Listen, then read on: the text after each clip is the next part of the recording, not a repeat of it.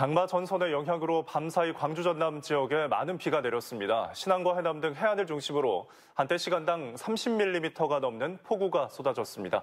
취재 기자 연결합니다. 박성호 기자 전해주시죠. 네, 저는 지금 목포항에 나와 있습니다. 어젯밤부터 다시 시작된 장맛비는 지금도 여전히 계속되고 있는데요.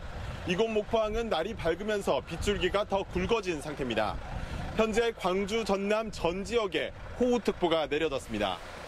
아침 7시까지 내린 비의 양은 해남 171mm를 최고로 신안 164mm, 장흥 163.5mm 등을 기록했습니다. 특히 일부에서는 천둥 번개와 함께 시간당 30mm가 넘는 국지성 집중호우가 쏟아졌는데요. 일부 저지대에 배수 문제가 발생한 것을 제외하면 다행히 아직까지 별다른 피해는 접수되지 않았습니다. 이번 비는 오늘 낮 대부분 그치겠지만 남해안 지역은 내일 새벽까지 비가 계속되겠습니다.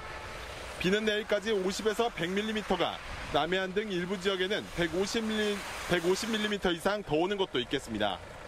이번 장맛비는 모레 새벽 남해안부터 다시 시작돼 점차 확대되겠고 주말 내내 광주 전남에 영향을 주겠습니다.